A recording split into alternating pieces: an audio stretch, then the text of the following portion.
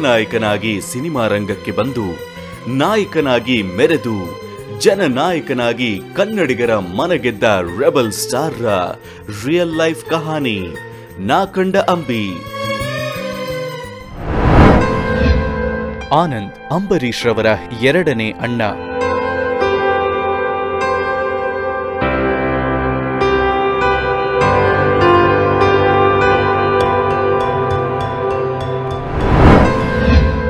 ನಟರಾದ ನಂತರ ಕುಟುಂಬದವರೊಟ್ಟಿಗೆ ಅಂಬಿ ಸರ್ ಯಾವ ರೀತಿ ಇರ್ತಿದ್ರು? ನಮ್ಮ ತಾಯಿಗೆ ಕಾರು ಅಂತ. ಅಲ್ಲ, ಅದೃಷ್ಟ ನಮ್ಮ ತಾಯಿಗೆ ನನಗೆ ಏನು ತಿನ್ಸೋಕ್ಕಾಗಲ್ಲ ಅನ್ನೋದಕ್ಕೆ ನನ್ನ ಮದುವೆ ಆದ ವಸ್ತುಗಳಲ್ಲಿ ನಮ್ಮ ತಂದೆ ಇಲ್ಲಿ ಸರಸ್ವತಿ ಸರಸ್ವತಿಪುರದಲ್ಲಿ ಸ್ವಂತ ಮನೆಯಲ್ಲ, ಬಾಡಿಗೆ ಮನೇಲಿದ್ದರು ಸಾಮಾನ್ಯ ಸಾಯಂಕಾಲದ ಹೊತ್ತು ಅವ್ರ ಮನೆಗೆ ಹೋಗೋದು ನಮ್ಮ ತಾಯಿ ಮಾತು ಹೋದೆ. ನಮ್ಮ ತಾಯಿ ಏನು ಕ್ಲೀನಾಗಿ ಅವ್ರು ಪೌಡ್ರ್ ಹಾಕೊಳ್ಳೋದು ಅಂದರೆ ಅವ್ರು ಒರೆಸ್ಕೋಬೇಕು ಅಂತಲೇ ಗೊತ್ತಿರಲಿಲ್ಲ. ಎಲ್ಲ ಚೆನ್ನಾಗಿ ಪೌಡ್ರ್ ಹಾಕೊಂಡು ಬೆಳ್ಳಿ ಕಾಣಿಸ್ಬೇಕು. ಅಂತ ಎಲ್ಲ ಹಚ್ಕೊಂಡ್ಬಿಟ್ಟು ಕೂತ್ಬಿಟ್ಟಿದ್ದಾರೆ. ಒಳ್ಳೆ ಬಫೂನ್ ಥರ ಇದೇನು ಪದಾಗ ಇಷ್ಟೊಂದು ಪೌಡ್ರ್ ಹಾಕೊಂಡು ಏನು ಕೂತ್ಬಿಟ್ಟಿದೆಯಲ್ಲ ಎಲ್ಲಿಗೆ? ನನ್ನ ಮಗ ಬರ್ತಾನೆ ಕಣೋ. ಚಾಮುಂಡಿ ಬೆಟ್ಟಕ್ಕೆ ಕರ್ಕೊಂಡು ಹೋಗ್ತೀನಿ ಅಂತ ಹೇಳಿದಾನೆ. ರಮ್ಮೆಲ್ಲ ಹೋಗ್ಬಿಟ್ಟು ರವೆ ದೋಸೆ ತಿಂದ್ಬಿಟ್ಟು ಜಾಮೂನ್ ತಿಂದ್ಬಿಟ್ಟು ಚಾಮುಂಡಿ ಕೆಟ್ಟು, ಓಹೋ. ಯಾವಾಗ ಹೇಳಿ ದುಡ್ಡು ಕೊಟ್ಟೆ ಅಂದೆ. ಬೆಳಗ್ಗೆನೇ ಹೋದ. ಹ್ಞೂ ಎಷ್ಟು ಕೊಟ್ಟೆ? ಹದಿನಾರು ಸಾವಿರ ರೂಪಾಯಿ ಕೊಟ್ಟೆ. ಒಳ್ಳೆ ಅಂಬಾಸಡರ್ ತರ್ತೀನಿ ಅಂತ. ಬಂತು ಕಾರು ನಿಂದು ಅಂತ ಕಾರು. ನೆಕ್ಸ್ಟ್ ಡೇ ಮಾಮೂಲು ಹೋದ್ವೆ ಅಂಬರೀಷ ಏನಾಯ್ತು ಆ ಏನಾಯ್ತು ಹೋಗೋ ಬೈಯಂಗಿಲ್ಲ ಬೈಯಂಗಿಲ್ಲ ಏನಾಯ್ತು ಹೋಗೋ. ಬೈಯಂಗಿಲ್ಲ ನಮ್ಮ ತಂದೆ ಅವಾಗ ಜಸ್ಟ್ ರಿಟೈರ್ಡ್ ಆಗೋ ಸ್ಟೇಜಲ್ಲಿದ್ದರು ಅಥವಾ ರಿಟೈರ್ಡ್ ಆಗಿದ್ರು ನನಗೆ ಗೊತ್ತಿಲ್ಲ ಹಂಗೆ ಸೆವೆಂಟಿ ಸೆವೆಂಟೀನ್ ನನ್ನ ಮದುವೆ ಆಗಿದ್ದು ಆಗಲೇ ಹದಿನಾರು ಸಾವಿರ ತೋಪು. ಇದಾದಮೇಲೆ ಹೇಳಿದ್ನ ಅವ್ನು ಛಾಯಾಪತಿ ಅನ್ನೋನು ನನ್ನ ಜೊತೆ ಈ ರೂಮಲ್ಲಿ ಓದ್ಕೊಂಡಿದ್ದ. ನಾನು ಅವನು ಬಿ ಮಾಡಿದ್ವಿ. ಇದೇನಾಗಿತ್ತು ಆಮೇಲೆ ಅಂಬರೀಷ ಇಲ್ಲಿ ಆಗಲಿಲ್ಲ. ನಮ್ಮ ತಂದೆ ಅವಾಗ ಬೆಂಗಳೂರಲ್ಲಿ ಇನ್ನೂ ಟ್ರಾನ್ಸ್ಫರ್ ಆಗಿರಲಿಲ್ಲ. ಹೊಸಕೋಟೆಯಲ್ಲಿದ್ದರು ಅದೇನಾಯಿತು? ಬೆಂಗಳೂರಲ್ಲಿ ನಂದಾಟಕ್ಕೆ ಸತ್ರ ಮನೆ ಮಾಡ್ಕೊಂಡಿದ್ರು. ಅದಕ್ಕೆ ಮುಂಚೆ ಏನು ಮಾಡಿದ್ರು? ನನ್ನ ಅಂಬರೀಷನ್ನ ವಿಜಯ ಕಾಲೇಜಿಗೆ ಸೇರಿಸೋರು. ಇಲ್ಲಿದ್ದರೆ ಏನು ಪಾಸಾಗಲ್ಲ ಕಾಲೇಜ್ ಚೇಂಜ್ ಮಾಡೋಣ ಅಂತ ಸೇರಿಸೋರು. ಅವಾಗ ವಿಜಯ ಕಾಲೇಜ್ ಸೇರಿದ್ರೆ ಅವ್ನು ಇರಬೇಕಾದ ಮನೆ ನಮ್ಮ ಛಾಯಾಪತಿ ಇಲ್ಲಿದ್ದ. ಇವನು ಅವ್ರ ಮನೇಲಿದ್ದ ಅಂದರೆ ಆ ಟೈಮ್ ಆದಮೇಲೆ ಎರಡು ವರ್ಷದ ಮೇಲೆ. ಅವನ ಹೆಂಡ್ತಿಗೂ, ಅವನಿಗೂ ಮದುವೆ ಆಯಿತು. ಅವನ ಹೆಂಡ್ತಿ ಎಂ ಎಸ್ ಸಿ ಈ ಅಂಬರೀಷ ಚೌಕಾಬರ ಪಗಡೆ, ಇವೆಲ್ಲ ಆಟ ಆಡೋದು ಕೇರಮ್ ಬೋರ್ಡ್ ಒಳ್ಳೆ ಕೇರಮ್ ಬೋರ್ಡ್ ಪ್ಲೇಯರ್ ಅವ್ರ ಮನೆಗೆ ಹೋದ್ನಲ್ಲ, ಅವ್ಳು ಪರೀಕ್ಷೆಗೆ ಹೋಗ್ಬೇಕು. ಅಡುಗೆ ಮಾಡೋದು ಉಂಟೆ ಉಂಟು, ಪರೀಕ್ಷೆಗೆ ಹಾಕಿ ಹೋಗ್ತೀಯ? ಆಡಮ್ಮ ಚೌಕಾಬರನ ಅಂತ ಪರೀಕ್ಷೆಗೆ ಹೋಗ್ಬಿಡ್ಲಿಲ್ಲ ಅಮ್ಮನ್ನ ರಜನಿ ಅಂತ ಅವಳ ಹೆಸರು ಇಲ್ಲಿದೆ. ಅವನ ಮನೇಲಿ ಇವನಿದ್ದ ಯಾರು? ನಮ್ಮ ಅಂಬರೀಷ. ಒಂದು ವರ್ಷ ಇದ್ದ. ಅದಾದಮೇಲೆ ಅಂಬರೀಷ ಅವನಿಗೆ ಹೆಲ್ಪು ಮಾಡ್ದ. ಬೇರೆ ಥರ ಹೆಲ್ಪ್ ಮಾಡ್ದ, ಅವನಿಗೆ ಏನೇನೋ ಮಾಡ್ದ. ಆ ಆ ಟೈಮಲ್ಲಿ ಆವಾಗಲೂ ಪಿ ಯು ಸಿ ಪಾಸ್ ಆಗಲಿಲ್ಲ ಅವನು. ಎಲ್ಲಿ ಅವ್ರ ಮೊದಲಿದ್ದು ಏನಿಲ್ಲ. ಕಡೆಯದಾಗಿ ಬಂದುಬಿಡ್ತೀನಿ. ಅಂಬರೀಷನಿಗೆ ಎರಡು ಭಯ. ಒಂದು ಇಂಜೆಕ್ಷನ್ನು ತಿಪ್ಪರ್ಲಾಗಾಡು ಹಿಡ್ಕೊಂಡು, ಕಡಿಕೊಂಡು ಹಗ್ಗ ಕಟ್ಟಿ ಇಂಜೆಕ್ಷನ್ ಕೊಡಬೇಕು. ಬ್ಲಡ್ ನೋಡಲ್ಲ. ರಕ್ತ ನೋಡಲ್ಲ ಅವನು. ತುಂಬ ಸೀರಿಯಸ್ ಆಗಿದೆ ಅಂದರೆ ಆಫೀಸ್ಗೂ ಆಸ್ಪತ್ರೆಗೂ ಹೋಗಿ ನೋಡಲ್ಲ ಅವನು. ಯಾರೂ ನೋಡ್ತಿರ್ಲಿಲ್ಲ.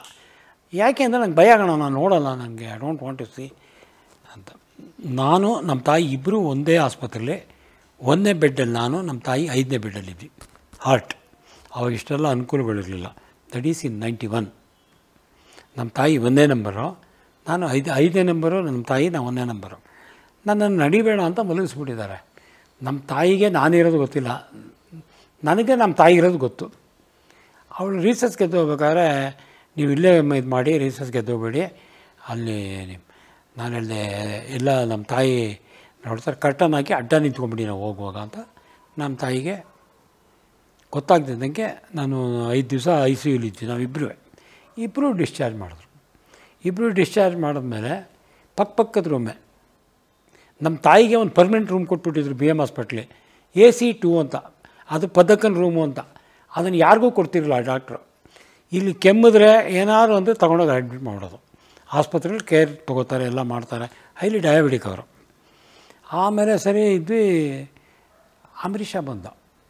ಅಂಬರೀಷ ಬಂದವನು ನೋಡಿದೆ ಪಕ್ಕದ ರೂಮ್ ಅದಕ್ಕೆ ಮುಂಚೆ ನಮ್ಮ ತಾಯಿ ಹತ್ರಕ್ಕೆ ಹೋದೆ ನಾನು ರೂಮ್ಗೆ ಏನೋ, ನಾನು ತಾಯ್ತಾ ಮಲಗಿದ್ದೀನಿ ಇವತ್ತು ಬರ್ತೀಯ ನಾನು ನೋಡೋಕ್ಕೆ? ಅವ್ರಿಗೆ ಹೇಗೆ ಹೇಳೋದು, ನಾನು ನಿನ್ನ ಬೆಡ್ಡಲ್ಲೇ ಇಲ್ಲೇ ಇದ್ದೆ ಅಂತ. ಇಲ್ಲ ಪದಕ ಟೈಮ್ ಆಗಲಿಲ್ಲ ನನಗೆ. ಬರೋಕ್ಕೆ ಇವತ್ತು ಬಂದಿದ್ದೀನಿ. ಏನಿಲ್ಲ ಅಂತ ಆಮೇಲೆ ಅಂಬರೀಷ ಬಂದು. ಅಂಬರೀಷ ಸುಮಲತಾ ಬಂದರು. ಬಂದು ಮಾತಾಡಿಸ್ಬಿಟ್ಟು ಏನೋ ಅಂತಂದ ಏನಿಲ್ಲ ಕಣ. ಎಲ್ಲ ಇದು ಬಂದೆ. ಹುಷಾರಾಗಿದೆ ನಾಳೆ ಡಿಸ್ಚಾರ್ಜ್ ಆಗುತ್ತೆ ಅದ್ಬಿಟ್ಟು ಹೋದ್ವಿ ಅಂಬರೀಷ್ ಅವರು ದೊಡ್ಡ ಅಣ್ಣ ಶಿವಕುಮಾರ್ ಅವರಿಗೆ ತುಂಬಾ ಹೆದರ್ಕೊಳ್ತಿದ್ರಂತೆ ಆ ಬಗ್ಗೆ ಹೇಳಿ. ಹೌದು ಅವ್ನು ಭಾಳ ರೋಫಾಕ್ ನಮ್ಮಣ್ಣ. ತುಂಬ ಫ್ಲೇ ವಾ ಹಿಂಗೆ ರೋಫ್ ಹಾಕೋನು ದೊಡ್ಡವನಲ್ವಾ? ಅಂಬರೀಷ್ ತುಂಬ ಚಿಕ್ಕವನು. ಅವನಿಗಿಂತ ಇಪ್ಪತ್ತು ವರ್ಷ ಚಿಕ್ಕವನು. ಅದು ಇಪ್ಪತ್ತಲ್ಲ, ಹದಿನೆಂಟು ವರ್ಷ ಚಿಕ್ಕವನು. ಒಂಥರ ಅಲ್ವಾ ರೋಫ್ ಹಾಕೋನು.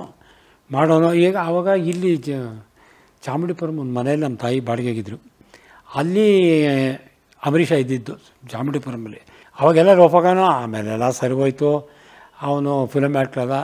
Ambareesh is the main fellow to get him a installation in Mysuru ಅವನಿಗೆ ಟ್ರಾನ್ಸ್ಫರ್ ಮಾಡಿಬಿಟ್ಟು ಜಾಗನೇ ಕೊಡಲಿಲ್ಲ. ನಮ್ಮ ಅಣ್ಣಂಗೆ. ಅವನು ಹಾರ್ಟ್ ಪೇಷಂಟು ಹೈಲಿ ಡಯಾಬಿಟಿಕ್ಕು ಆಮೇಲೆ ಗುಂಡೂರಾವ್ ಕಾಲ. ಏಯ್ಟಿ ಒಂದಲ್ಲಿ ಏಯ್ಟಿ ಒನ್ ಏಯ್ಟಿ ಟೂ ಅವನಿಗೆ ಅಪಾಯಿಂಟ್ಮೆಂಟ್ ಆರ್ಡ್ರ್ ಬಂತು. ಇಲ್ಲಿ ಕಲಾಮಂದಿರ ಕಟ್ಟಿದಾರಲ್ಲ, ಅದಕ್ಕೆ ಇಂಜಿನಿಯರ್ ಆಗಿ. ಅಲ್ಲಿ ತನಕ ಮೂರು ತಿಂಗಳು ಕೆಲಸ ಇಲ್ಲದೆ ಕೂತಿದ್ದ. ಆಮೇಲೆ ಆ ಖುಷಿಗೆ ಏನು ಹತ್ತು ಪಟ್ಟ ಐದು ಪಟ್ಟ ಅದಾದಮೇಲೆ ಒಂದು ಐದು ತಿಂಗಳು ಬದುಕಿದ್ದ ಅಷ್ಟೆ. ಈ past eighty two September twenty eight ನಮ್ಮಣ್ಣ.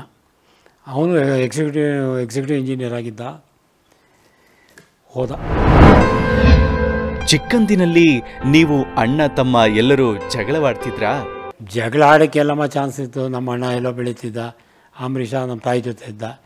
ನಾವು ನಮ್ಮ ಚಿಕ್ಕಮ್ಮನ ಮಕ್ಕಳೆಲ್ಲ ಇಲ್ಲೇ ಬೆಳೆದಿದ್ದು. ಇಲ್ಲಿರ್ತಿದ್ವಿ. ಅವನ ಜೊತೆ ಅಂದರೆ ಅವನ ಫ್ರೆಂಡ್ಸ್ ಎಲ್ಲ ನಮಗೆ ಫ್ರೆಂಡ್ಸ್ ಆಗಿದ್ದು. ಈ ಇಷ್ಟು ನಾನು ಹೇಳಿದ್ನಲ್ಲ ನಿಮಗೆ, ಇದೆಲ್ಲ ಇದು ನಡೆದಿದ್ದು, ಅದೇ ಸ್ಕೂಟ್ರ್ ಜಜ್ ಹಾಕೊಂಬಂದ ಆಮೇಲೆ ಒಂದು ಟ್ರಿಪ್ಪು ನಾನು, ಅವನು ಶಿವಮೊಗ್ಗಕ್ಕೆ ಹೋದ್ವಿ, ನೈನ್ಟೀನ್ ಸಿಕ್ಸ್ಟಿ ನೈನ್. ನಮ್ಮ ಚಿಕ್ಕಪ್ಪನ ತಮ್ಮಂತೂ ಮದುವೆ ಆಯಿತು ಇಲ್ಲಿ ಅರ್ಕೆರೆಯಲ್ಲಿ ರಿಸೆಪ್ಷನ್ ಭದ್ರಾವತಿಲಿ. ನಾವು ಹೋಗ್ತಾ ಇದ್ದೀನಿ, ನಾನು ಬರ್ತೀನಿ. ಹ್ಞೂ ಸರಿ, ಬಾ, ಕೂತ್ಕೋ. ಅಂತೇಳಿ ಅವನು ಸ್ಕೂಟರ್ ಕೂತ್ಕೊಂಡು ಬೆಂಗಳೂರು ಶಿವಮೊಗ್ಗ ಹೋದೆ ನಾನು. ನನಗೆ ತಿಪ್ಟೂರಲ್ಲಿ ನನ್ನ ಕ್ಲಾಸ್ಮೇಟ್ ಒಬ್ಬರು ಎಲ್ ವಿ ಶ್ರೀರಂಗರಾಜು ಅಂತಿದ್ರು. ಅವ್ರ ಮನೆಗೆ ಹೋಗ್ಬಿಟ್ಟು ಅವ್ರ ತಾಯಿನ ಮಾತಾಡಿಸ್ಕೊಂಡು next event to Shivamogga. Reception ಮುಗಿಸ್ಕೊಂಡು ವಾಪಸ್ ಸ್ಕೂಟ್ರಲ್ಲೇ ಬಂದ್ವಿ ನಾನು ಅವನು. ದಿಸ್ ಒನ್ ಇನ್ಸ್ಟೆನ್ಸ್ ನನಗೆ ಭಾಳ ಕಾರ್ ಶೋಕಿ. ಸಿಕ್ಸ್ಟಿ ನೈನಲ್ಲಿ ನಾವು ಬೆಂಗಳೂರು ಯಾವುದೋ ಹಿಂಗೇನೆ ಹೋದೆ. ಒಂದು ಕಾರ್ ಎಕ್ಸ್ಚೇಂಜ್ ಮಾಡಬೇಕು ಅಂತ ಅಂತು. ಇವನು ಅವ್ರ ಮನೇಲಿದ್ದ ಅಂಬರೀಷ್ ಅವ್ರ ಮನೇಲಿ. ನಮ್ಮ ಛಾಯಾಪತಿ ಮನೇಲಿ. ನಂದೊಂದು ಮಾರಿಸ್ ಅಂತ ಬರುತ್ತೆ, ಮಾರಿಸ್ ಸೈಟ್ ಇತ್ತು. ಅದು ಕೊಟ್ಬಿಟ್ಟು ಒಂದು ಸಿಟ್ರನ್ ತೊಗೊಂಡೆ. ಎಲ್ಲಿಗೆ ಹೋಗ್ತೀಯಾ ಅಂತಂದ ಮೈಸೂರಿಗೆ ಹೋಗ್ತೀನಿ ನಾನು ಬರ್ತೀನಿ ಅಂದ. ನನಗೆ ಮದುವೆ ಆಗಿತ್ತು ನನಗೆ ಮಂಡಿಗೆ ಬಂತು ಆ, ಅಲ್ಲಿ ಇದ್ದು ಗೊತ್ತಲ್ಲ ಇವನಿಗೆ ನಾನು ಎದುರಿಗೆ ಸಿಗರೇಟ್ ಕಟ್ಟಿರಲ್ಲ ಅಲ್ಲಿ ಇಲ್ಲಿ ಹಾಂ ಎಲ್ಲೇ ಇರ್ತೀನಿ ಕಣ ಬರ್ತೀನಿ ಕಣ ಆಗ್ಬಿಟ್ಟು ಏನೋ ಓಡಾಡ್ಬಿಟ್ಟು ಅಲ್ಲಿ ಪೊಲೀಸ್ನವ್ನಿಗೆ ತಪ್ಪಿಸಿ ಬಿಡಿಸಿ ಏನೇನೋ ಆ ಕೇಸ್ಗಳೆಲ್ಲ ಭಾಳ ಇದು ಮಾಡಿದ್ದೆ ಚರಂಡಿ ಎಲ್ಲ ಆರಿಸ್ಬಿಟ್ಟಿದ್ದಾನೆ ಮೋಟರ್ ಸೈಕಲ್. ಕಾಲೇಜು ದಿನಗಳಲ್ಲಿ ಅಂಬರೀಷ್ ಅವರು ಯಾವ ರೀತಿ ಇರ್ತಿದ್ರು? ಕಾಲೇಜಲ್ಲಿ ಅಯ್ಯೋ, ಕಬಡ್ಡಿ ಗಿಬಡಿ ಎಲ್ಲ ಆಡ್ತಾ ಇದ್ದ. ಅವನ ಜೊತೆ ಅವನೊಬ್ಬ ಇದ್ದಾನೆ. ಇಲ್ಲಿ ರಾಮೇಗೌಡನ ಈ ರಾಜ್ಕುಮಾರ್ ಸಂಘದ ಏನೋ ಆಗಿದ್ದ ಅವನು. ಇನ್ನೊಬ್ಬ ಇದ್ದಾನೆ, ಲಾಯರ್ ಅವನು. ಅವರೆಲ್ಲ ಇವನ ಜೊತೆ ಕಬಡ್ಡಿ ಆಡ್ತೀವಿ ಇವನ ಕ್ಲಾಸ್ಮೇಟ್ ಇನ್ನೊಬ್ಬ ಬದುಕಿಯಾನೆ. ಕುಟ್ಟಿ ಅಂತ ಕರಿತೀವಿ ಅವನಿಗೆ. ಎಚ್ ಎಂ ಆರ್ ರಾವ್ ಅಂತ. ಇವನು ಎನ್ ಸಿ ಸಿಲಿದ್ದ. ಅದೇ ಹೇಳಿದ್ನಲ್ಲ madam I was nothing he lived like a king he went like a king ಇದ್ದ. ಅಷ್ಟೆ.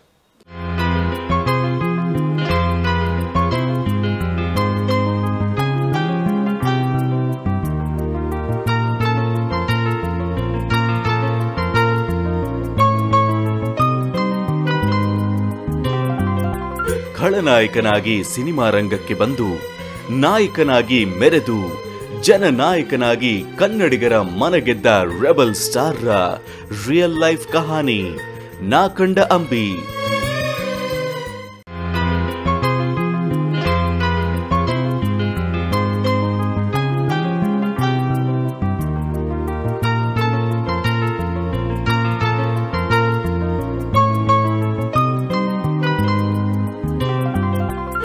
ಖಳನಾಯಕನಾಗಿ ಸಿನಿಮಾ ರಂಗಕ್ಕೆ ಬಂದು ನಾಯಕನಾಗಿ ಮೆರೆದು ಜನನಾಯಕನಾಗಿ ಕನ್ನಡಿಗರ ಮನಗೆದ್ದ ರೆಬಲ್ ಸ್ಟಾರ್ ರಿಯಲ್ ಲೈಫ್ ಕಹಾನಿ, ನಾಕಂಡ ಅಂಬಿ. ಅಂಬಿಯವರಲ್ಲಿ ನಿಮಗೆ ಏನು ಇಷ್ಟವಾಗ್ತಿತ್ತು? ಅಮ್ಮ ಮಗನ ಬಾಂಧವ್ಯ ಹೇಗಿತ್ತು? ಆ ಬಗ್ಗೆ ಹೇಳಿ. ನಮಗಿಷ್ಟ ಅಂದರೆ ನಾವು ಅವನ ಜೊತೆ ಏನು ಅಷ್ಟು ಮೂವ್ ಮಾಡಿಲ್ಲ. ಅವನದು ಈ ಕ್ವಾಲಿಟೀಸ್ ಕೆಲವೆಲ್ಲ ಬೈ ಆಕ್ಸಿಡೆಂಟ್ ನಾನು ನಿಮ್ಗೆ ಹೇಳಿದ್ನಲ್ಲ ಇದನ್ನು ಹುಡುಕೊಂಡು ಹೋದ್ರೆ ಇದು accidentally these things are happened ಅವ್ನು ಮಾ ಹೆಲ್ಪ್ ಮಾಡೋಕ್ಕೆ ಕೇಳಿದ್ದು ಹೇಳಿದೆ. ಅವನದು ಕಾರ್ದು ಹೇಳಿದೆ. ಈ ಥರ ಈಗ ಅವನು ಹೇಳ್ದಲ್ಲ ರಾತ್ರಿ ಎಷ್ಟೊತ್ತಿಗೋ ಬಂದರೆ ಈ ಮೇಲ್ಗಡೆಯಿಂದ ಹತ್ಕೊಂಡು ಬಂದು ಬಾಗಿಲು ಟ್ಯಾಪ್ ಮಾಡೋಣ. ಅವನಿಗೆ ಆತ್ಕೆನೇ ಬೇಕು, ಅವಳು ಹೇಳ್ದಂಗೆ ಅವನಿಗೆ ಬೇಳೆ ಸಾರು, ಗಟ್ಟಿ ಬೇಳೆ ಸಾರು ಕೈಮಾ ಉಂಡೆ ತುಂಬ ಇಷ್ಟ, ಗಟ್ಟಿ ಮೊಸರು.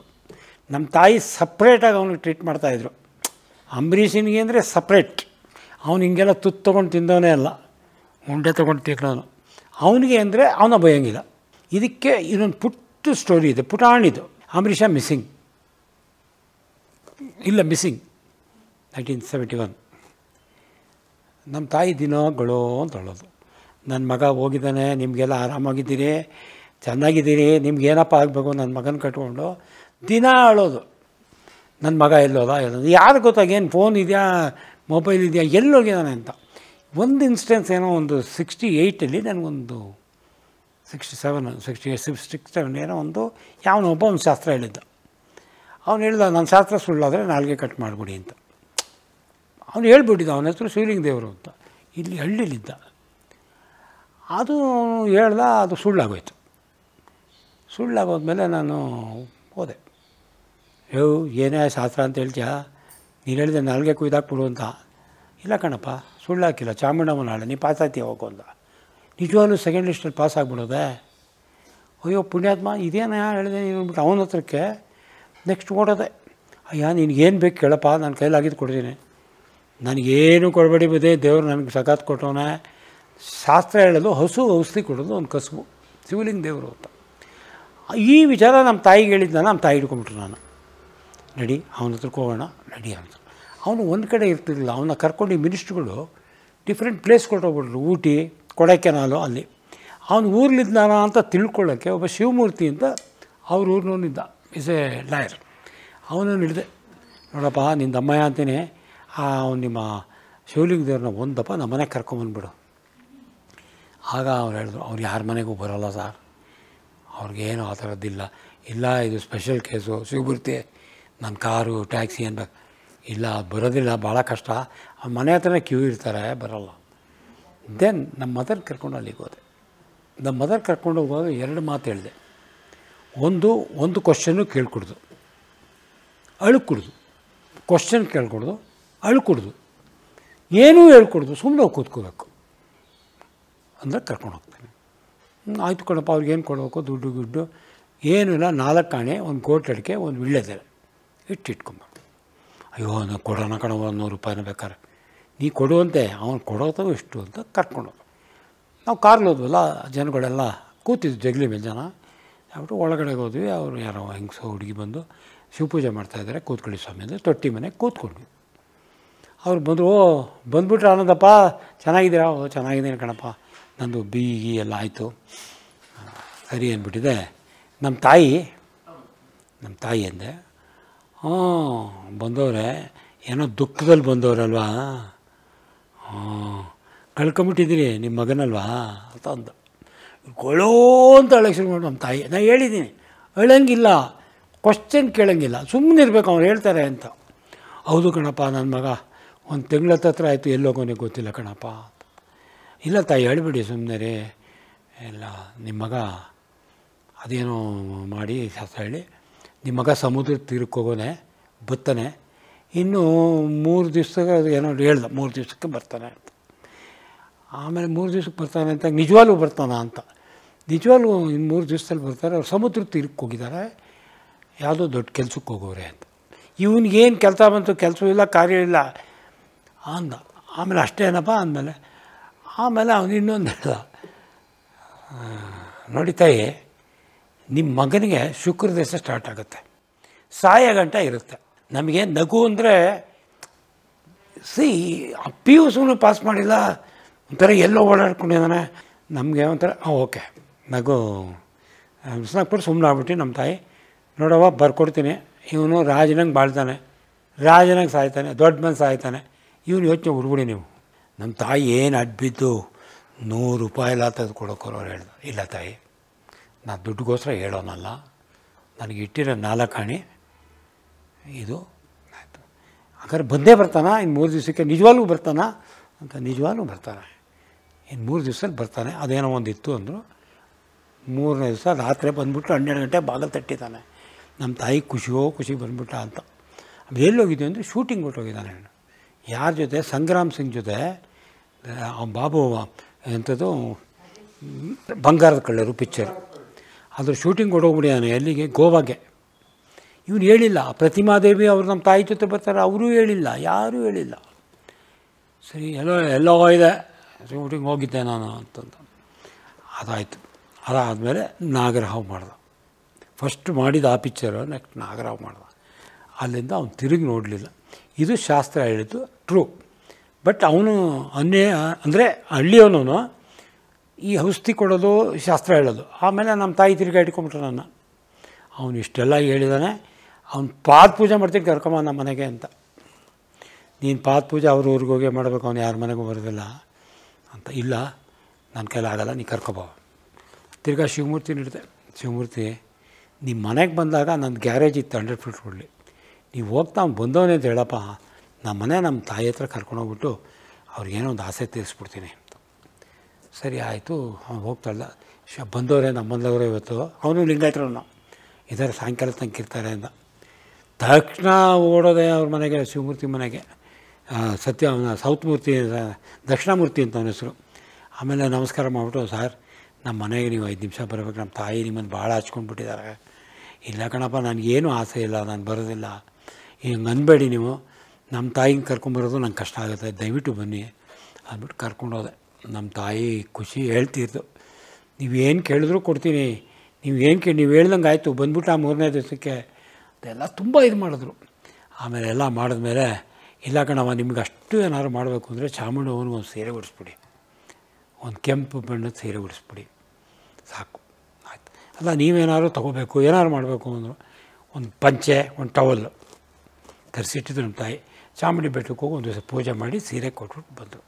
ಆವತ್ತಿಂದ ನೋಡಿ ಅಂಬರೀಷ ಸಾಯೋ ತನಕನೂ ಅವ್ನು ತಿರುಗಿ ನೋಡಲಿಲ್ಲ. ಅವ್ನು ಶಾಸ್ತ್ರದೊಂದು ಸತ್ತೋದ. ಅವನು ಎಷ್ಟು ವರ್ಷ ಆಯಿತು? ಇದು ಹೇಳ್ತಾ ಇರೋದು ನೈನ್ಟೀನ್ ಸೆವೆಂಟಿ ಆವಾಗಲೇ ಅವ್ರಿಗೊಂದು ಎಪ್ಪತ್ತೈದು ವರ್ಷ ಆಗಿತ್ತು. ಅದೊಂದು ನಿಜ ಆಗಿದೆ. ಇವೆರಡು instance I never forget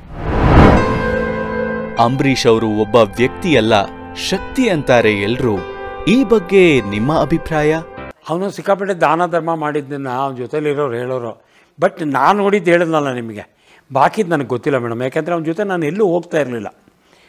ಅವ್ರ ಮನೇಲಿ ನಡೆದಿನ ಇನ್ಸ್ಟೆನ್ಸ್ ಗೊತ್ತಿರ್ತೋ ಸುಳ್ಳು ಪಳ್ಳು ಹೇಳೋಕ್ಕೆ ನಂಗೆ ಗೊತ್ತಿಲ್ಲ. ಅವನಿಗೆ ಅವ್ನ ಫ್ರೆಂಡ್ಸಿಗೆ ಕೊಟ್ಟಿದ್ದು, ಮಾಡಿದ್ದು ಹೇಳಿದ್ನ ನಿಮಗೆ. ಅವ್ರು ರೆಫ್ಯೂಸ್ ಮಾಡಿದ್ದು. ಇದೆಲ್ಲ ಬೇಕಾದಷ್ಟಿದೆ. ಆಮೇಲೆ ಅದೇ ಅವತ್ತೇ ನನಗೆ ಕೇಳಿದ್ದು. ನಿನಗೆ ಕಾರ್ ಬೇಕೇನ? ಡ್ರೈವರ್ ಬೇಕೇನ? ನನಗೇನು ಬೇಡ ಕಣ. ಇನ್ನೇನು ಇದೆ ಲಾಸ್ಟ್ ಕಾರ್ ನಾನು ಇನ್ನೇನು ಓಡಿಸಲ್ಲ. ಅದೇ last word last but one word ಅವತ್ತು ಇನ್ವೈಟ್ ಮಾಡಿದೆ ನನ್ನ ಮಗನಿಗೆ ಅವಾರ್ಡ್ ಕೊಡ್ತಾರೆ ಬಾರೋ. ನಾವು ಈಗ ಹೇಳ್ತೀಯಲ್ಲ ಹೆಂಗ ಈಗ ಎದ್ದಿದ್ದೀನಿ ಕಣ ನಾನು ತಂದ. ನಿಂಗೆ ಒಂದು ತಿಂಗಳಿಂದನೇ ಕೊಟ್ಟಿದ್ದೀನಲ್ಲಪ್ಪ ಇದನ್ನು ಅಂತ. ಹೇ ಮರ್ತ್ಬಿಡ ಕಣ ನಾನು ಅಂತ. ಅವತ್ತೇನೋ ಸ್ವಲ್ಪ ವೀಕ್ ಆಗಿದ್ದ. That is fourth of November ಇಷ್ಟು ಸಮಾಚಾರ. ನೀವು ಅಂಬರೀಷ್ ಅವರನ್ನ ಕೊನೆಯದಾಗಿ ನೋಡಿದ ಮತ್ತು ಮಾತನಾಡಿದ ಸಂದರ್ಭದ ಬಗ್ಗೆ ಹೇಳಿ. ಫೋರ್ಟೀನ್ತ್ ಆಫ್ ಆಗಸ್ಟ್ ಮಾತಾಡಿ ಆ ಜೊತೆಯಲ್ಲೇ ಫೋಟೋ ನಾನೇ ತೆಗೆದಿರೋದು ನನ್ನ ಮೊಬೈಲಲ್ಲಿ ಅದಾದಮೇಲೆ ಅವನು ಮಾತಾಡಿದ್ದು ದಟ್ ಈಸ್ ಫೋರ್ತ್ ಆಫ್ ಅವ್ನು ಸಾಯೋದು ಇಪ್ಪತ್ತು ದಿವ್ಸಕ್ಕೆ ಮುಂಚೆ. ಬೆಂಗಳೂರು ನಮ್ಮ ಮಗನಿಗೆ ಅವಾರ್ಡ್ ಕೊಟ್ರಲ್ಲ ಆವಾಗ ಮಾತಾಡಿದ್ನಲ್ಲ, ಅದೇ ಲಾಸ್ಟ್ ಮಾತಾಡಿದ್ದು. ಇಲ್ಲಿ ಅವನ ನೋಡಿದ್ದು, ಅಲ್ಲಿ ಮಾತಾಡಿದ್ದು, ಅದೇ ಲಾಸ್ಟ್ ಅವ್ನು ನೋಡಿದ್ದು. ಅವನು ಇದ್ದಿದ್ದು ಹೆಂಗೆ, ಅವ್ನು ಮಾಡಿದ್ದು ಹೆಂಗೆ ಅಂಡ್ ಅವನು ಸೋ ಹೆಲ್ಪ್ಫುಲ್ ಅನ್ನೋಕ್ಕೆ ಅವನ ಸ್ನೇಹಿತರುಗಳು ಇವತ್ತು ಬದುಕಿಲ್ಲ. ಆ ವಿಜಯ್ ಅಂತ ಇದ್ದ ಲಿಕ್ಕರ್ ಶಾಪ್ನ ಅವನು ಸತ್ತೋಗ್ಬಿಟ್ಟ. ಇನ್ನೊಬ್ಬ ಎಲ್ ಸಿ ಪ್ರಕಾಶ್ ಅಂತಿದ್ದ ಅವನು ಸುತ್ತಬಿಟ್ಟ ಫೋನ್ ಒನ್ ಜನರಲ್ ಏಜೆನ್ಸಿ ಇರ್ತಿದೆ ಅವನ ಎಲ್ಸಿ ಮುಖೇಶ್ ಇದ್ದಾನೆ. ಇನ್ನೊಬ್ಬ ಅವನ ಪ್ರಸನ್ನ ಗುಪ್ತಾ ಅಂತಿದ್ದ, ಅವನಿಗೆ ಒಂದು ತಿಂಗಳಿಂದ ಸತ್ತೋಗಿದ್ದಾನೆ. ಇವರೆಲ್ಲ ಅಂಬರೀಷ ರೂಮೊಳಗಿದ್ರೆ ಇಲ್ಲಿ ಕೂತ್ಕೊಂಡು ಕುಡಿಯೋದು. ಅವನು ಮನೆಗೆ ಹೋದ್ರು ಅವನು ಇದಕ್ಕೆ ಹೋದ್ರು, ಕುಡಿಯೋಕ್ಕೆ ಯಾರಿಗೂ ತಿನ್ನೋಕ್ಕೆ, ಕುಡಿಯೋಕ್ಕೆ ಏನೂ ಇದಿರಲಿ. ಯಾವಾಗಲೂ ಎರ್ಚಾಡೋದು ಎರ್ಚಾಡೋದು ಎರ್ಚಾಡೋದು. ಬಟ್ ನಾವು ಕುಡಿಯಲ್ಲ ಅಂದರೆ ಬೇರೆಯವ್ರು ಕೊಡ್ತಾರೆ ನಾವು ಯಾಕೆ ಇದು ಮಾಡಬೇಕು? ಅಂಬರೀಷ ನಮ್ಮ ಮನೆಗೆ ಬಂದರೆ ಯಾವಾಗಲೂ ಈ ಜಾಗದಲ್ಲಿ ಕುಂಚ್ಕೊಂಡು ತುಂಬ ಎಂಜಾಯ್ ಮಾಡ್ತಾಯಿದ್ದ ಇಲ್ಲಿ ಕೂತ್ಕೊಂಡು ಸಾಮಾನ್ಯವಾಗಿ ಸಿಗರೇಟ್ ಸೇದವನು ಈ ಕೊಪ್ಪಳ ಜನ ಎಲ್ಲ ಬಂದು ಅವ್ನು ಬಂದಿದ್ದಾನೆ ಅಂತ ಹೆಂಗೋ ಗೊತ್ತಾಗೋದು. ಅಲ್ಲಿ ನಿಂತ್ಕೊಂಡು ವೇವ್ ಮಾಡ್ತಾಯಿದ್ರು ಇವನು ಈ ಥರ ವೇವ್ ಮಾಡ್ತಾಯಿದ್ದ ಅದನ್ನು ಜ್ಞಾಪಿಸ್ಕೊಂಡ್ರೆ ತುಂಬ ಫೀಲ್ ಆಗುತ್ತೆ ಇವಾಗ. ಓಕೆ ಫಾಲೋ ಮೀ ಇದು ನಮ್ಮನೆ main door college of music ಅಂತ ನೈನ್ಟೀನ್ ಫಿಫ್ಟಿ ಟೂಲಿ ಓಪನ್ ಮಾಡಿದರು. ನಂತರ ಸ್ವಲ್ಪ ವರ್ಷ ನಡೀತು ಒಂದು ಮೂವತ್ತು ವರ್ಷ. ಆಮೇಲೆ due to shortage of money and other thing it is stopped ಇದು ನಮ್ಮನೆ ಮೈನ್ ಡೋರ್ ಮೈನ್ ಡೋರ್ ಇದು is called S hall usually ಅವ್ನು ಬಂದರೆ ಮನೆಗೆ ಬಂದರೆ ಸೋಫಾ, ಕುರ್ಚಿ ಕೂತ್ಕೊಳ್ಳೋ ಅಂದರೆ ಬೇಡ ಬೇಡ ಬೇಡ ಬೇಡ. ನನಗೆ ಇಲ್ಲೇ ಎಂಜಾಯ್ ಮಾಡ್ತೀನಿ ಅಂತ ಈ ಮೆಟ್ಲು ಮೇಲೆ ಕೂತ್ಕೊಳ್ಳೋನು ಇದು ಬಂದರೆ ಹಾಗೆ ನೋಡಿ, ಇದು ಈಗ ನಾನು ತೋರಿಸುವಂಥದ್ದು ಅಂಬರೀಷ್ ಅವರು ಉಪಯೋಗಿಸ್ತಿದ್ದಂಥ ಡ್ರೆಸ್ಸಿಂಗ್ ಬೀರು ಅಂತ ನೋಡಿ ಇದು. ದಿಸ್ ಒನ್ ಇದು ಅಂಬರೀಷ್ ಅವರು ನಡೆಸ್ತಿದ್ದಂಥ ಡ್ರೆಸ್ಸಿಂಗ್ ಬೀರು. ಇದು ಅವನಿಗೆ ಭಾಳ ಹಿಂದೆ, ಇವಾಗ ಒಂದು ನಲವತ್ತು ವರ್ಷ ಆಗಿರ್ಬೋದು ಇದಕ್ಕೆ. ಈಗ ಅವನ ಮನೆ ಬಿಟ್ಟ ಮೇಲೆ ಇದು ನಮ್ಮ ಮನೆಗೆ ಬಂದು ಸೇರಿಕೊಂಡಿದೆ. ಇದು ನಮ್ಮ ಬಸ್ಸಿನ ಮನೆಗೆ ಹೋಗುವಂಥ ಬಾಗಿಲು. ಇಲ್ಲಿ ನಿಂತ್ಕೊಂಡು ಸಾಮಾನ್ಯ ಫೋಟೋ ತೆಗೆಸ್ಕೊಳ್ತಾ ಇದ್ದ. ನಮ್ಮನೆಯವರೆಲ್ಲ ಬಂದರೆ ತುಳಸಿ ಕಟ್ಟೆ, ಇಲ್ಲಿ ಇಲ್ಲಿ ಮಾಡ್ತಾಯಿದ್ದ ಇದು ಯೂಶುವಲ್ ಆಗಿ ಅವ್ನು ಸಣ್ಣ ಹುಡುಗ ಆಗಿದ್ದಾಗ ಇಲ್ಲೊಂದು ಮೆಟ್ಲಿದೆ ನೋಡಿ. ಇಲ್ಲೊಂದು ಮೆಟ್ಲಿದೆ ನೋಡಿ. ಆ ಕಡೆ ಪಕ್ಕದ ಮನೆ ಒಂದು ಕಾಣಿಸ್ತಾ ಇದೆ ನಿಮಗೆ ಮೇಲ್ಗಡೆ. ಅದು ಮುಂಚೆ ಅಲ್ಲಿ ಮನೆ ಇರಲಿಲ್ಲ. ಅಲ್ಲಿ ನಮ್ಮ ಕಾರ್ ಶೆಡ್ ಇತ್ತು. ಅವನು ನನ್ನ ರೂಮ್ ಮಾಡಿ ಮೇಲಿದೆ. ಆ ರೂಮಿಗೆ ಬರಬೇಕಾದ್ರೆ ಇಲ್ಲಿ ಹತ್ಬಿಟ್ಟು ರಾತ್ರಿ ಲೇಟ್ ಆದರೆ ಆ ಚಿಕ್ಕ ಗೋಡೆ ಮೇಲೆ ನಡ್ಕೊಂಬಂದು ಟ್ಯಾಪ್ ಮಾಡೋನು. ಈ ನೈನ್ಟೀನ್ ಫಿಫ್ಟಿ ಫಿಫ್ಟಿ ಅಲ್ಲ ಸಿಕ್ಸ್ಟಿ ಸೆವೆನ್ ಸಿಕ್ಸ್ಟಿ ಏಯ್ಟ್ ಈ ಮನೆ ಸಾವಿರದ ಒಂಬೈನೂರ ಎರಡರಲ್ಲಿ ಕಟ್ಟಿದ್ದು ಅಂತ ನಮಗೆ ಯಾರೋ ಇನ್ಫಾರ್ಮೇಷನ್ ಕೊಟ್ಟಿದ್ದಾರೆ. ಆದ್ದರಿಂದ ಇದಕ್ಕೊಂದು ನೂರ ಹದಿನೇಳು ವರ್ಷ ಆಗಿದೆ. ಈ ಮನೆಯಲ್ಲಿ ಸುಮಾರಾಗಿ ಮಕ್ಕಳು, ಮೊಮ್ಮಕ್ಕಳು, ಅಳಿದು ಎಲ್ಲ ಇಲ್ಲೇ ಹುಟ್ಟಿ ಬೆಳೆದಿದ್ದು, ಈ ಮನೆ ಒಂಥರ ಪುಣ್ಯಕ್ಷೇತ್ರ ಥರ ನಮಗೆ. ತಮಿಳುನಾಡಿನಿಂದ ಬಂದವರು ಎಲ್ಲ ಆರ್ಟಿಸ್ಟ್ಗಳು ಇಳ್ಕೊಳ್ತಾ ಇದ್ರು. ನಮ್ಮಲ್ಲಿ ಸಾಮಾನ್ಯವಾಗಿ ಈ ಭಾಳ ಮಡಿವಂತರಾದರೆ ಬಾವಿ ನೀರೇ ಉಪಯೋಗಿಸ್ತಾ ಇದ್ದಿದ್ದು. ನಲ್ಲಿ ನೀರು ಉಪಯೋಗಿಸ್ತಿರಲಿಲ್ಲ. ಫಾರ್ ಎಕ್ಸಾಂಪಲ್ ಚಂಬೈ ವೈದ್ಯನಾಥ ಭಾಗವತರ್ ಅವ್ರು ಬಂದರೆ ನಮ್ಮನ್ನು ಹೇಳ್ಕೊಳ್ತಾ ಇದ್ದಿದ್ದು, ಬಾವಿ ನೀರು ಸೇದ್ಕೊಂಡು ಅಡುಗೆ ಮಾಡ್ತಾಯಿದ್ರು ನಲ್ಲಿ ನೀರು ಕುಡಿತಾ ಇರಲಿಲ್ಲ. ಅವ್ರಿಗೆ ಕೊಬ್ಬರಿ ಎಣ್ಣೆ ಹಾಕ್ಕೊಂಡು ಅಡುಗೆ ಮಾಡ್ತಾಯಿದ್ರು ನಮ್ಮ ತಾತ ಅವ್ರಿಗೇನು ಬೇಕೋ ಅದನ್ನೆಲ್ಲ ಸಪ್ಲೈ ಮಾಡಿಸ್ತಾಯಿದ್ರು ನಾನು ಅಂಗಡಿಯಿಂದ ತಂದು ಕೊಡ್ತಿದ್ದೆ ಅವ್ರು ಕನ್ನಂಬಾಡಿಗೆ ಕರ್ಕೊಂಡು ಹೋಗುವೆ, ಮತ್ತೊಂದು ಕಡೆ ಕರ್ಕೊಂಡು ಹೋಗುವೆ. ಅವ್ರು ನಮ್ಮನೆ ತುಂಬ ದೇವಸ್ಥಾನದ ಥರ ಫೀಲ್ ಮಾಡ್ತಾಯಿದ್ರು ಈ ಮನೆಗೆ ಬಂದರೆ ತುಂಬ ಎಂಜಾಯ್ ಮಾಡ್ತಾಯಿದ್ರು ಈ ಪ್ರತಿ, ಈ ಮನೆಗೆ ಪ್ರತಿ ರೂಮ್ಗೂ ಎರಡೆರಡು ಬಾಗಿಲುಗಳಿವೆ. ಫಾರ್ ಎಕ್ಸಾಂಪಲ್ ನೋಡಿ ಇಲ್ಲೊಂದಿದೆ. ಇದು ನಮ್ಮ ತಾತ ತಾತನ ರೂಮು. ನೋಡಿ ಈ ಕಡೆ ಒಂದು ಬಾಗಿಲಿದೆ. ಇದು ಇದು. ಈ ರೂಮಿನ ಸ್ಪೆಷಾಲಿಟಿನೇ ಅದು. ಪ್ರತಿ ಒಂದು ರೂಮು ಎರಡೆರಡು ಬಾಗಿಲಿದೆ. ನಮ್ಮ ಅಡುಗೆ ಮನೆಗೆ ಎರಡು ಬಾಗಿಲಿದೆ. ಊಟದ ಮನೆಗೆ ಎರಡು ಬಾಗಿಲಿದೆ. ರೂಮ್ಗಳಿಗೆ ಎರಡು ಬಾಗಿಲಿದೆ.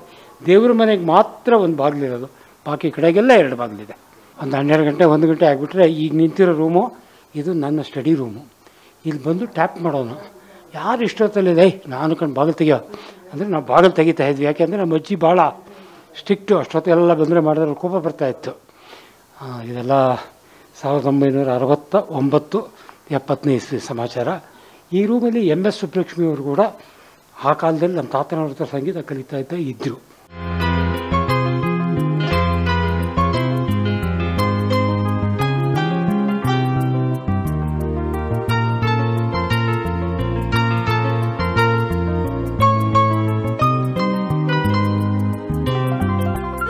ಖಳನಾಯಕನಾಗಿ ಸಿನಿಮಾ ರಂಗಕ್ಕೆ ಬಂದು ನಾಯಕನಾಗಿ ಮೆರೆದು ಜನನಾಯಕನಾಗಿ ಕನ್ನಡಿಗರ ಮನಗೆದ್ದ ರೆಬಲ್ ಸ್ಟಾರ್ ರಿಯಲ್ ಲೈಫ್ ಕಹಾನಿ ನಾಕಂಡ ಅಂಬಿ.